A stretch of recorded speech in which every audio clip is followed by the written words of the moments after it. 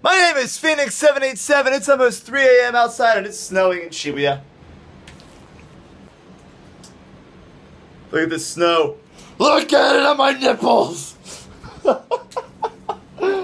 oh my god, it's snow like a bitch right now in Shibuya. Hello, snow. Hello, White Death. For social justice warriors, White Death is not me, a white person, standing shirtless at 3 a.m. in the middle of the snow, rubbing snow on my nipples. I'm wearing pants, don't worry.